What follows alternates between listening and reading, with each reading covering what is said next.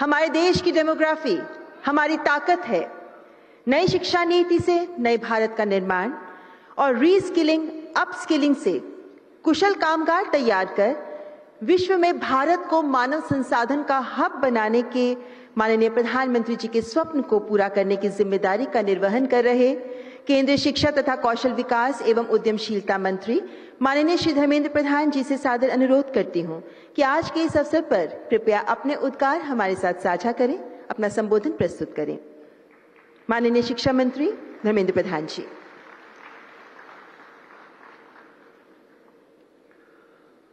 आज की विश्वकर्मा जयंती समारोह की शुभ अवसर पे इस विभिन्न लोक कल्याण की कार्यक्रमों की शुभारंभ की मंच पे उपस्थित देश की यशस्वी प्रधानमंत्री माननीय नरेंद्र मोदी जी, देश के वित्त मंत्री आदरणीय निर्मला सीतारामन जी, मेरे मित्र, प्रदेश, देश की वाणिज्य मंत्री आदरणीय पीयूष गोयल जी, लघु एवं मध्यम उद्यम मंत्री आदरणीय नारायण राणे जी सूक्ष्म लघु उद्यम की राज्य मंत्री आदरणीय भानु प्रताप सिंह वर्मा जी और इस सभागार में उपस्थित देश भर से आए हुए सभी विश्वकर्मा भाइयों और बहनों दूर संचार से जुड़े हुए देश की अनेक स्थानों में लाखों की संख्या में उपस्थित भाइयों और बहनों और विभिन्न विभाग के अधिकारी मित्रगण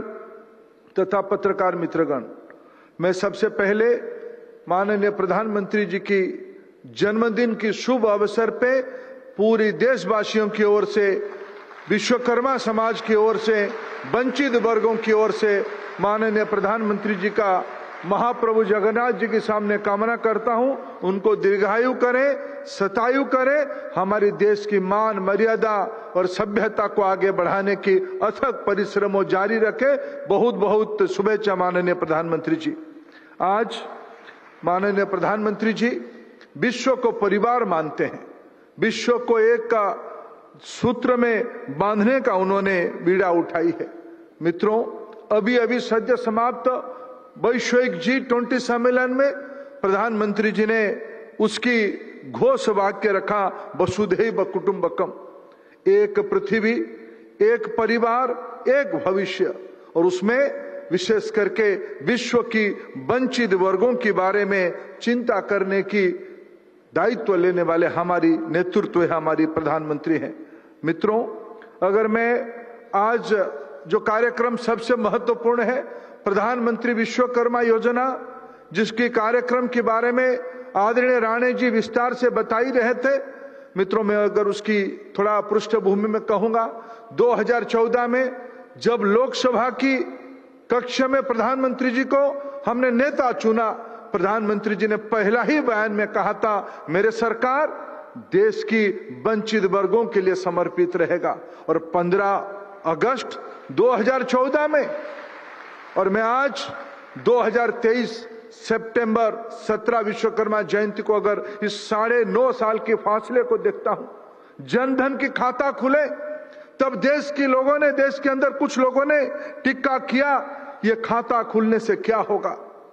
लेकिन मित्रों, आज याद आती है, वो आज वो बात याद आती है। आज प्रधानमंत्री विश्वकर्मा योजना के तहत जब लाखों विश्वकर्मा भाई और बहनों की खाते में तीन लाख रुपया की कम ब्याज में ऋण जाएगा, उसकी एक नया सृजन होगा, या रचना होगा। यही है प्रधानमंत्री जी की सबका साथ, सबका विश्वास, सबके लिए प्रयास करने की कार्यक्रम। मित्रों, आज प्रधानमंत्री जी के कार्यक्रम के अंदर समावेशी चरित्र दिखती है, सामाजिक न्याय दिखती है और विशेष करके कभी कल्पना करिए, प्रधानमंत्री जी को अवसर मिला यशोभूमि को लोकार्पण करने के लिए, किसको उन्होंने न्योता दिया? समाज की जो अंतिम छोर में खड़ा हुआ व्यक्ति, वो मूर्तिकार हो, मालाकार हो, चर्मकार हो, लोहार हो, सोनार हो धोबी की भाई बहन हो या नाई भाई बहन हो। और आज तो प्रदर्शनी में हमने देखा, देश आगे बढ़ रहा है। देश की बेटी आज परंपरागत काम पे नई प्रयास कर रहा है। इस सबको आत्मनिर्भर भारत की ओर ले जाने के लिए उन्होंने भूला नहीं। उन्होंने भूला नहीं इस वंचित वर्गों को आज साथ में लेने के लिए। मित्रों, अगर देश को 2040 तक विकसित भारत बनाना है फाइव ट्रिलियन डॉलर इकोनॉमी बनाना है और विश्व में आने वाले दो तीन साल के अंदर, तीन तीन के अंदर एक भारत की अर्थनीति को पहुंचाना है, तब हमारी श्रम जीवियों को बिना सम्मान किए, बिना महत्व दिए, ये संभव नहीं। इसके मूल मंत्र और इसकी मूल प्रेरता आज लोकप्रिय प्रधानमंत्री नरेंद्र मोदी जी हैं।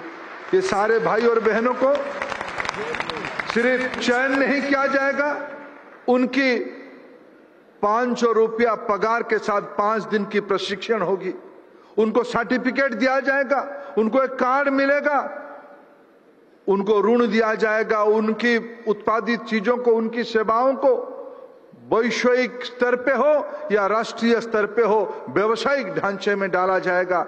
ऐसे एक महत्वपूर्ण कार्यक्रम का आज लोकार्पण हो रहा है। हम सभी लोग सौभाग्यशाली है। ऐसे महत्वपूर्ण कार्यक्रम के लोकार्पण की हम साक्षी बन रहे हैं। देश आगे बढ़ रहा है। मैं फिर देश की ओर से, वंचित वर्गों की ओर से, सामाजिक न्याय को एक कदम आगे ले जाने के लिए माननीय प्रधानमंत्री जी को अनेक अनेक कृतज्ञता ज्ञापन करता हूँ। जय हिंद। भारत माता की जय।